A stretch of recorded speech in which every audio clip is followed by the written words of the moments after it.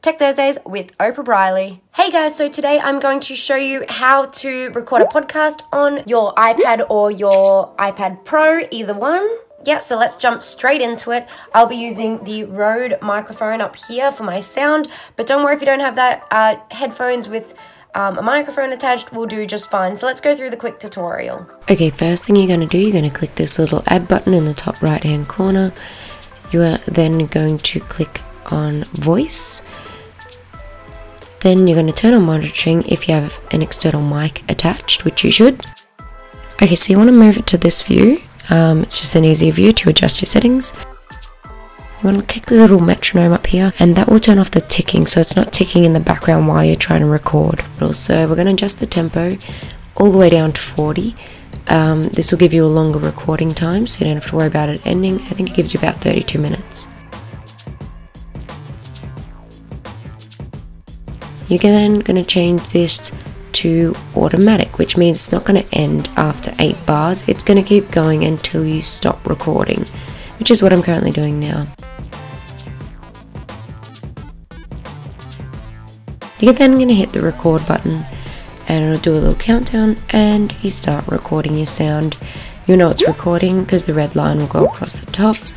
Um, you can then finish your recording, skip back to the start and hit play to listen to it back.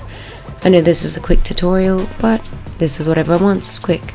So if you click either these white lines at the end, you can adjust the length of your clip, and if you click on the middle, you can move it around.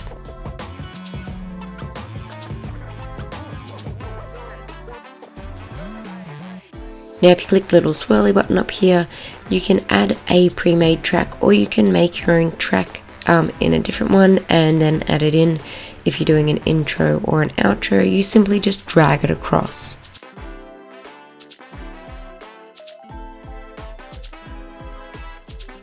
Then to delete tracks that you don't like, you just click it and and you hit delete. Then finally, once you're all finished editing and cutting and chopping and changing, you can also duplicate and all that sort of stuff. Um, you're going to click the My Songs tab up the top left, which will save the file. You're then going to click select, select the one you want, click share, share it as a song, and then select your options. I'm going to share mine to SoundCloud because it's easy to download straight from SoundCloud.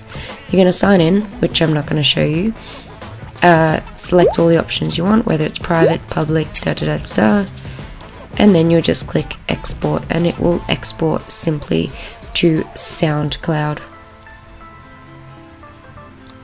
Then you can visit the page, which will then take you straight to the SoundCloud app, and you'll be able to see everything that you've made. You can download it, delete it, alter it as you wish. Now, if you want some information on how to use SoundCloud, give this video a thumbs up and I'd be happy to do a little tutorial on it. This was only a quick little overview on how to record a very basic podcast. There are much better apps to be recording podcasts on, but if you're only just starting out and you're looking for something free, this is the app for you. Just use your GarageBand, which comes with your iPad. Okay, guys, thanks for watching. Um, that is how I record a very basic podcast. Uh, don't forget to go check out my podcast channel. I haven't yet started, I'm still working on editing and things. And don't forget to like and subscribe to my channel here on YouTube. Uh, thanks for joining me for Tech Thursday, and I will see you guys next week. Bye. Yo, my name is Oprah and this is my spot. Take a seat and don't worry, cause I ain't a big shot. I was thinking we could make a little tribe, but that only works if y'all subscribe.